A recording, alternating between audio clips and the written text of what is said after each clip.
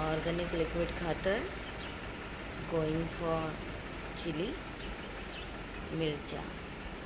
खेती first round अभी कुछ